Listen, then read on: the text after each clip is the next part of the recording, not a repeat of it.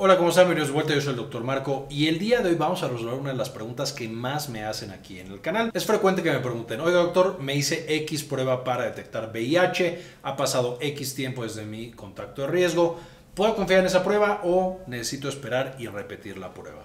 Entonces el día de hoy vamos a ver un tema muy importante para esto, que es la ventana en la cual una prueba para diagnóstico de VIH funciona.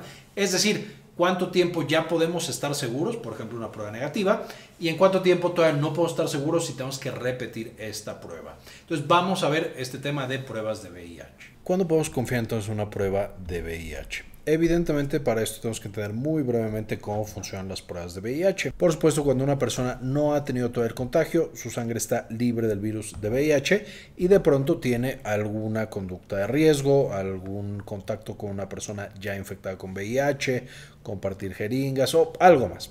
En este momento, por supuesto, entra en contacto y el VIH ya está en la sangre de este sujeto.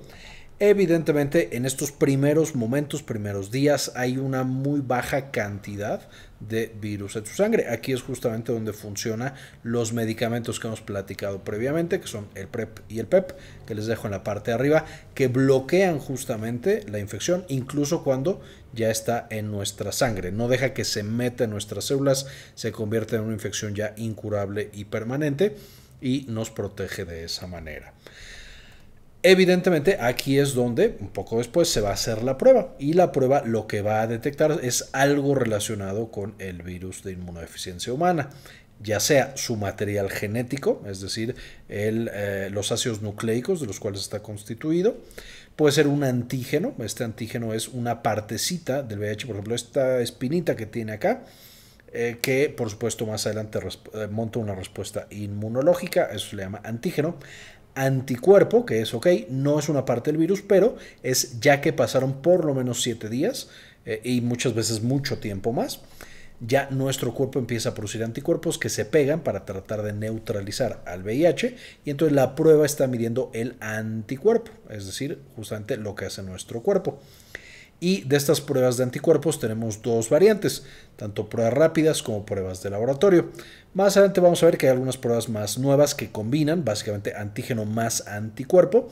Estas son de las más utilizadas y de estas también hay pruebas rápidas y pruebas de laboratorio. Por supuesto, estas pruebas combinadas son de hecho de las que más se utilizan en la actualidad para el diagnóstico de la patología. Dentro de los antígenos, esto no es tan, tan importante saberse el nombre, pero bueno, los antígenos que medimos en las pruebas son el antígeno P24, GP120 y GP41, y los anticuerpos son usualmente anticuerpos contra justo estos antígenos. Una vez más, P24, GP120 y GP41. Ahora, ya sabemos entonces que esta persona tuvo un contacto de riesgo y entonces para poder detectarlo a tiempo, ser responsable, buscar tratamiento y demás, va a hacerse la prueba. El gran problema es que la prueba le sale negativa. ¿Qué fue lo que, a pesar de que aquí podemos ver el virus ya estaba en su sangre, qué fue lo que salió mal? Básicamente tenía muy poquito virus en sangre, no había llegado a infectar justamente a células inmunológicas, no se había multiplicado, todavía la prueba no era suficientemente sensible para detectar la presencia de este virus. Siguen pasando las semanas, los meses y por supuesto se repite la prueba. En este momento ya el virus infectó más células y ya está presente en mayores cantidades en la sangre en ese, o en los líquidos del cuerpo. En ese momento hacemos una segunda prueba y esta va a ser una prueba positiva. Y es justamente simplemente le dimos a la prueba el tiempo necesario para que el virus fuera más y lo pudiera detectar. A este tiempo entre cuando nosotros tenemos el contacto de riesgo y la prueba ya puede dar positiva porque ya el virus se reprodujo lo suficiente, lo vamos a llamar ventana. Esta ventana entonces nos indica cuál es el tiempo mínimo en el que deberíamos estar haciendo las pruebas de VIH para que no nos dé un falso negativo. Es decir, que la prueba nos diga que estamos perfectamente bien sin virus cuando el virus realmente ya estaba en nuestra sangre y por supuesto tener pruebas positivas cuando realmente tenemos a este virus.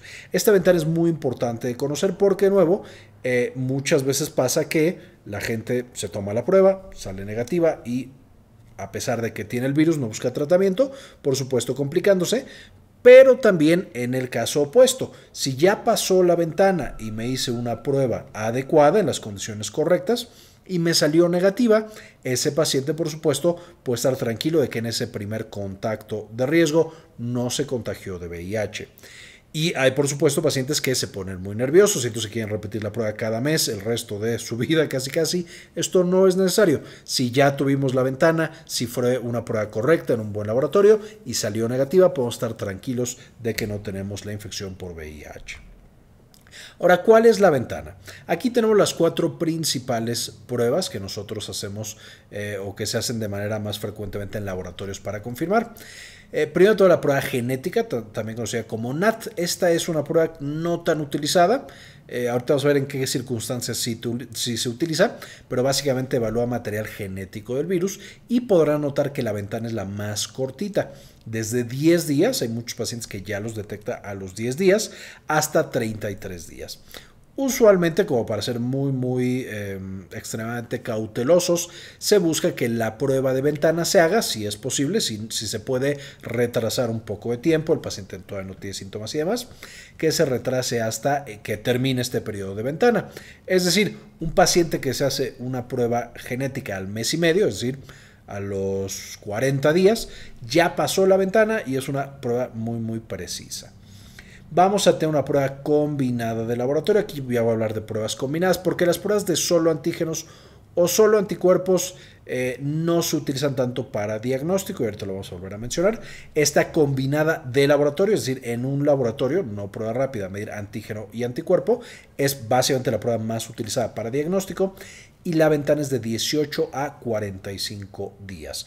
Una vez más, lo más conveniente es irse ya pasando justo este día 45, día 46, ya estamos seguros que pasó el periodo de ventana y ya las pruebas actuales, que también son conocidas esta combinada de laboratorio, que me da antígeno más anticuerpo, como ELISA de cuarta generación. Eh, pueden encontrar otros nombres, EIA, eh, etcétera, pero estas de cuarta generación realmente con 45 días ya nos están diciendo si es positiva o es negativa. Y una vez más, si a los 50 días sale negativa, podemos estar tranquilos de que no es justamente o no tengo la infección por VIH. Si es positiva, ahorita vamos a ver qué pasa. Una combinada eh, prueba rápida, que está por a diferencia de la de laboratorio, que tienes que ir a un laboratorio, te toman sangre y demás. La prueba rápida, que es en otros tejidos, incluso suero, eh, algunos tejidos orales, etc. Este es de 19 a 90 días podemos notar que esta prueba es de las que tiene la ventana más tardía porque justamente es complicado al hacer una prueba rápida, no es tan precisa, no es tan sensible, necesitamos darle más tiempo a la infección para que se presente en sangre. Y finalmente una prueba solo de anticuerpos, que no, no se usa para diagnóstico o mm, no debería usarse en general solo para diagnóstico, que este también hay prueba de laboratorio rápida. Eh, mide, por supuesto, los anticuerpos contra los antígenos que, tiene el VIH y esta tiene 23 a 90 días de ventana. Entonces, podemos ver que las más convenientes, por supuesto, serían las dos de arriba y estas, por supuesto, sí son utilizadas para diagnóstico de VIH eh, de manera rutinaria. Si nos metemos a analizarlas un poquito, la prueba de material genético es bastante buena, es la que tiene la ventana más corta, tiene una muy buena sensibilidad y especificidad. Además nos va a indicar la carga viral, es decir, podemos calcular exactamente cuántas copias del virus tenemos en la sangre y esto puede ser muy importante para el manejo de los pacientes con VIH y también puede resolver casos dudosos, que ahorita vamos a ver cuáles son. Pero esencialmente si sospechamos de la infección, pero las pruebas no han salido tal cual, tan positivas ni tan negativas, de nuevo ahorita vamos a ver qué es eso. Eh, las pruebas genéticas, la NAT, nos puede decir que ese paciente sí lo tiene o no lo tiene de manera contundente. ¿Cuáles son las desventajas? Es más caro, mucho más caro que las otras pruebas y eso hace que en muchos sitios no se realice. Otra desventaja es que solo es prueba de sangre. No podemos utilizar otros tejidos u otros líquidos para medir ahí justamente la presencia o ausencia del VIH. Luego tenemos la prueba rápida. La prueba rápida, como indica su nombre, es la más rápida de hacer, no la que tiene la ventana más cortita, como vimos previamente, pero la prueba rápida se puede hacer muy rápido. Y entonces, por supuesto, esa es una ventaja, más fácil y rápida de realizar. Y esto es bueno justamente cuando necesitamos saber inmediatamente si el paciente tiene VIH, sabiendo que no es una prueba completamente fidedigna, pero si por ejemplo yo estoy teniendo una paciente que tiene eh, que un trabajo de parto, que no sabemos si tiene VIH o no, Esto es muy importante porque con la intervención adecuada, un bebé que está naciendo a través de parto cesárea de una paciente con VIH puede no contagiarse. Entonces tenemos que dar tratamiento inmediatamente. Entonces, por supuesto, le hacemos una prueba rápida. O, por ejemplo, si yo como médico estoy atendiendo a un paciente en la sala de urgencias y hay algún accidente y me cae sangre del paciente, puedo hacer una prueba rápida a ese paciente para determinar justamente si esa sangre que me cayó es de riesgo o no y entonces puedo tomar una eh, profilaxis post-exposición. Entonces, de nuevo, cuando queremos saber muy muy rápido si un paciente tiene VIH o no, hacemos la prueba. Una vez más, eh, esta prueba no es diagnóstico así habitual que se realice. La ventaja es que se puede hacer en sangre, en suero o se puede hacer oral. Y la desventaja, por supuesto, es que requiere prueba confirmatoria. Es decir, si yo a una paciente embarazada que está teniendo un trabajo de parto, si un paciente que me cayó sangre en urgencias y demás, o un paciente simplemente porque tuvo un contacto de riesgo quiere hacerse una prueba rápida, idealmente esperando la ventana, como mencionamos previamente, y recordando que la ventana de las pruebas rápidas es bastante amplia. Esperamos todos, todos los días, hasta 90 días, es decir, como tres meses. Si sale positiva, sale que hay justamente la infección por VIH, no me puedo quedar con el diagnóstico de VIH en ese caso, sino que tengo que hacer una prueba confirmatoria. ¿Cuál sería la prueba confirmatoria en este caso? O la mayoría de los pacientes simplemente van a llegar directamente a hacerse esta prueba específica, que es una prueba de antígeno anticuerpo en laboratorio y a esta también es conocida en muchos lados como ELISA de cuarta generación. Hace muchos, muchos años, esta prueba de ELISA cuarta generación, todavía faltaba otro estudio confirmatorio, que era el Western Blot. En este momento el Western Blot ya no es necesario hacerlo para confirmar una prueba ELISA cuarta generación, que sea prueba de antígeno anticuerpo en laboratorio. Y los pacientes, si esta sale positiva, esencialmente ya damos el diagnóstico de que sí hay presencia de VIH en ese paciente. No han terminado los estudios que se requieren, pero sí está la infección. Esta es como la prueba estándar para diagnóstico, entonces es muy accesible en el sentido de que ya casi en todos lados eh, está presente esta prueba. Esto por supuesto con el gran paréntesis de que eh, hay muchos sitios muy diferentes en este mundo, eh, con sistemas de salud más avanzados y algunos menos avanzados. Entonces en los grandes centros médicos, me refiero, debe de haber pruebas de VIH y que sea esta prueba antígeno anticuerpo ELISA cuarta generación. Hay algunos otros sitios en los que tal vez no la encuentren, pero ya es estándar este tipo de pruebas para diagnóstico. Eh, de nuevo, aquí hay prueba rápida y de laboratorio. La que funciona como diagnóstico de la prueba de laboratorio, la prueba rápida no tanto. Y la desventaja es que solo es prueba de sangre, es decir, no tenemos otros líquidos en los cuales podamos evaluar justo la presencia o ausencia de virus. Y con esto, ¿cuál es el algoritmo diagnóstico? Una persona, por supuesto, tiene el contacto de riesgo, va a esperar la ventana, eh, la ventana para que la prueba funcione, que recordando la prueba estándar, que es la prueba de antígeno anticuerpo, van a ser 45 días del contacto de riesgo. De ahí, si la prueba sale negativa, pues entonces nos quedamos tranquilos, no hay infección por VIH. Eh, valdrá mucho la pena hablar con un eh, infectólogo, hablar con un médico para ver cómo me puedo proteger en siguientes eventos. Si sale positiva, entonces tengo que hacer una segunda prueba, que es una diferenciación. Esta prueba de diferenciación esencialmente es ver anticuerpos contra qué tipo de VIH tengo, porque como ya vimos el video de VIH que les dejo en la parte de arriba, hay dos tipos de VIH, VIH tipo 1 y VIH tipo 2. Entonces yo necesito ver ahora los anticuerpos que tiene ese paciente para ver qué tipo de VIH tiene.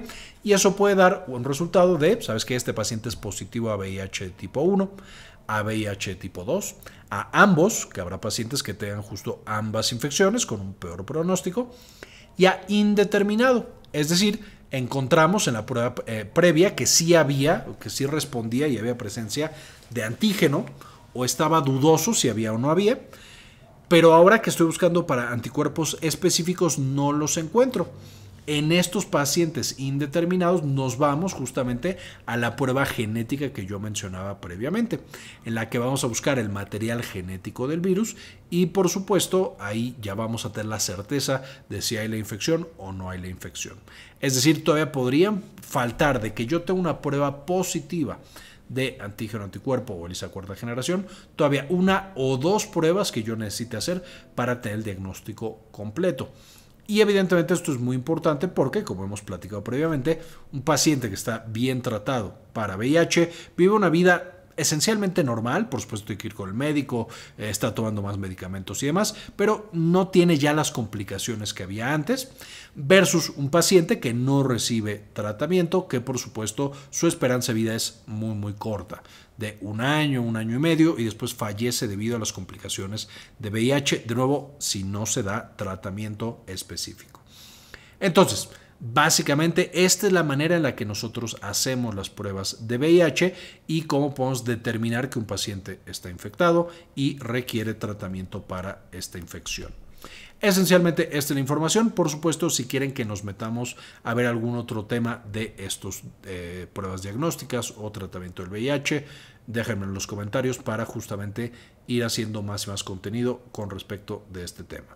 Este video se lo dedico, por supuesto, a algunos de los miembros que apoyan el canal con una donación mensual de 1 o 2 dólares, recordando que ellos tienen acceso a los videos antes y que también, por supuesto, eh, estos, estas personas pueden decidir justo los temas que exploramos en el canal. Tenemos una encuesta en la cual ellos nos van diciendo qué temas quieren que desarrollemos y de eso hablamos. Este video se lo dedico a Erendira López, PsycEd, Luis León, Aldo Novelo, Ferdinand Fernández, Yami Pascasio, Enrique Segarra, Sandy Oliva, Hernán Gustavo, Javier Mejía, Gilberto Argueta, Gustavo Francioli, Cindy Magaña Bobadilla, Luis Ernesto Peraza, Gli53, Pablo Antonio, Dr. Fermín Valenzuela, Saúl Reyes, Mike Angelo, Jorge Arturo Albeláiz, Olga Hernández, Jorge Sebeltrán, Alicia Pereira y Aldo Novelo. Y también, como siempre, les dejo las referencias de las, que saqué la información para este video para que las puedan consultar y puedan estudiar mucho más de este tema tan importante. Bien, esto fue todo por el video. Espero les gustara, le entendieran. Ya sepamos con más tranquilidad cuándo sí hacer una prueba, cuándo no, cuándo confiar en la prueba y cuándo repetirla. Muchas gracias por ver este video y como siempre, ayúdenos a cambiar el mundo. Compartan la información.